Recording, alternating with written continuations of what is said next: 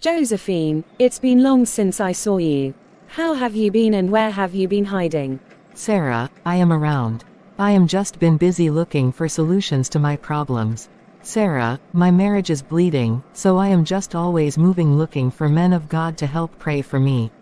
Now, for the past two Sundays I haven't been to church because I had schedules to meet the powerful man of God Prophet Jonah of his Power Gospel Church. My sister Josephine, you have not yet left this character of going from one servant of God to another looking for prayers. How can I stop? I will only stop at the day I see a change in my marriage.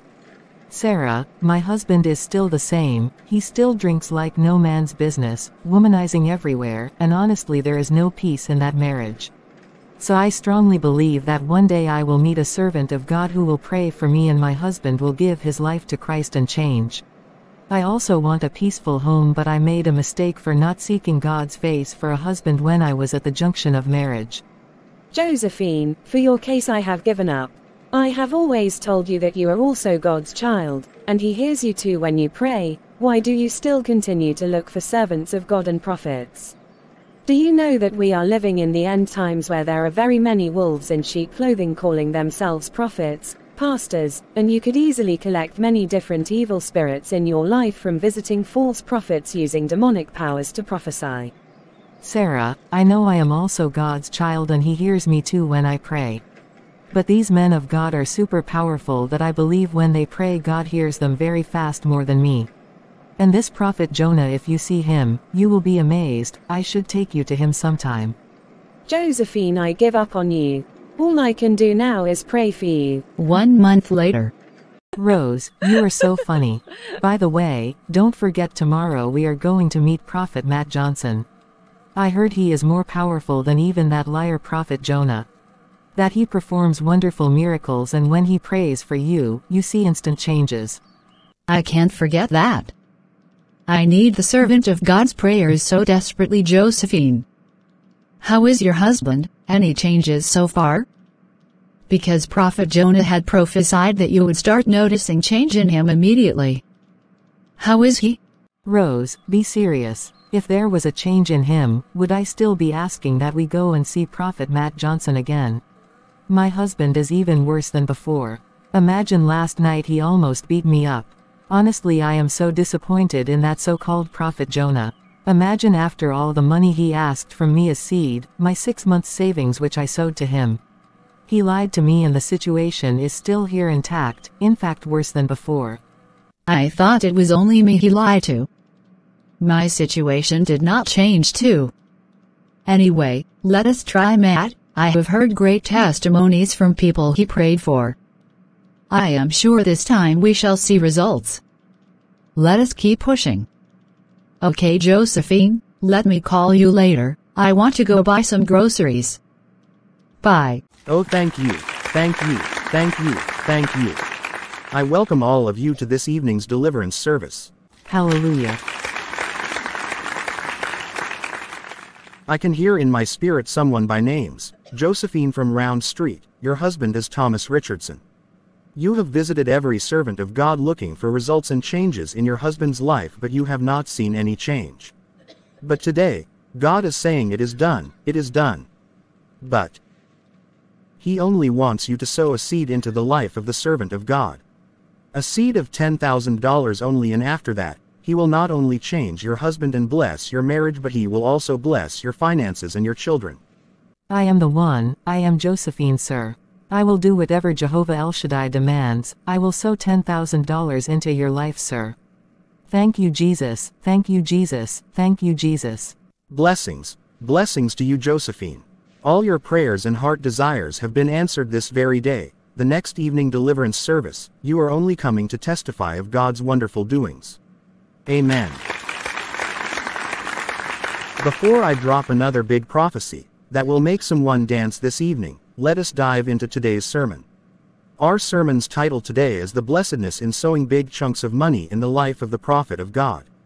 Choir, come and sing this song I love, the one that says, Sow, sow, sow a seed and you will reap 100 fold OOO and keep reaping OOO. Come choir and join me.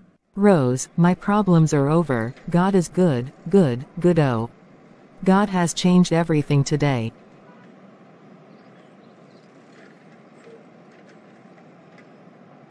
That night, Useless woman, I noticed some money like $10,000 missing from our joint account. Tell me, what did you do with the money? I, I, I, I, Thomas, I, gave it as an offering to a prophet who was praying for the well-being of our home. You did what? No one plays with my hard-earned money, you know I put the biggest percentage of my own money in that joint account. Thomas have you slapped me? No, I haven't, I have just tickled you. The next time you will do anything this stupid, I will slap you until you see stars. Nothing is working out in this marriage. The day I sow the seed to Prophet Matt, that's the day I get slapped. Sarah told me God also hears my prayers when I pray because I am his child. I will start praying for myself. Tomorrow I will talk to Sarah to guide me on how to pray and let God hear me. Sarah, thanks for honoring my request and coming to meet me. Anything for you, my sister. Ah, it's about my issue of moving from one servant of God to another. I have finally had enough, lost a lot of money in paying for something called seed. You win, Sarah. I want to start praying to God for myself. I believe that since I am also a child of God, He hears me too when I pray. Thank you, Jesus. Josephine, I have been asking God to open your eyes.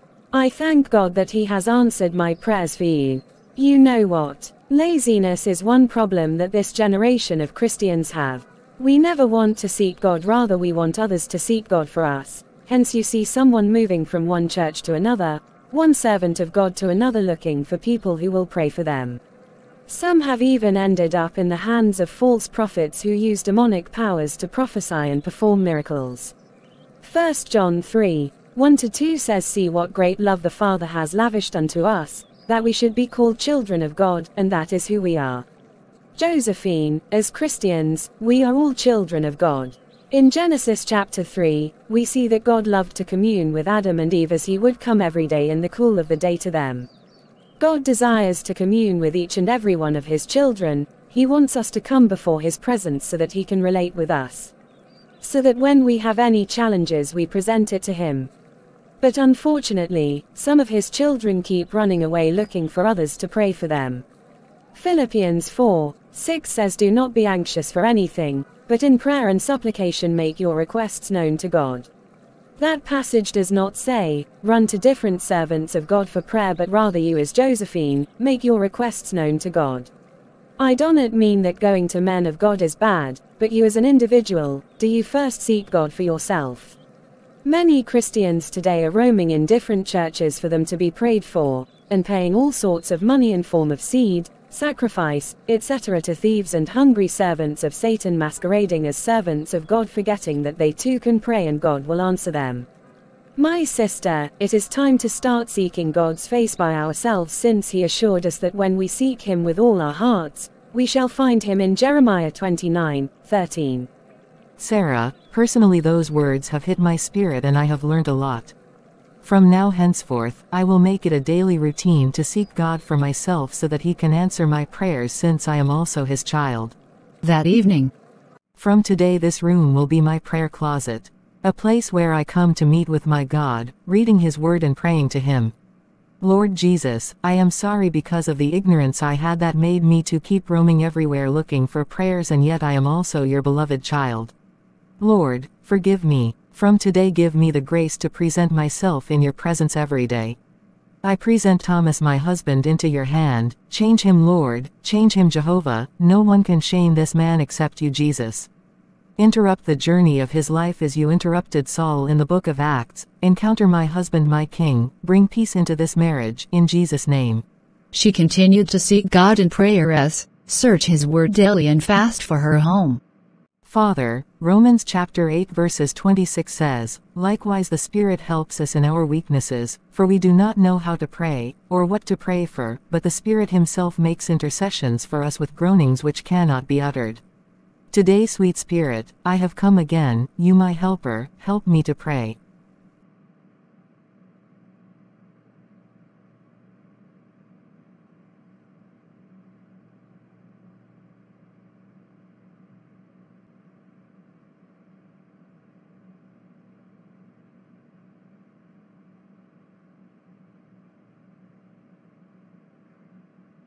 My brethren, this is my testimony after stopping looking for different people and servants of God to pray for me, but instead seeking God's face as an individual for two years. This decision was the best decision I made for my entire life. After starting to seek God, I started discovering marvelous things about God as my Father, relating closely with Him. I also started growing in my spiritual life, hearing God for my personal situations and even my husband had an encounter with God. He is now a changed man and a Christian. God desires you and I to seek Him first at an individual level. It is not bad to seek help from servants of God whom God has led you to go to. But let us learn to be women and men of God's presence. I hope you were blessed by this short video. Please like, share and subscribe to this channel. Thanks. Bye.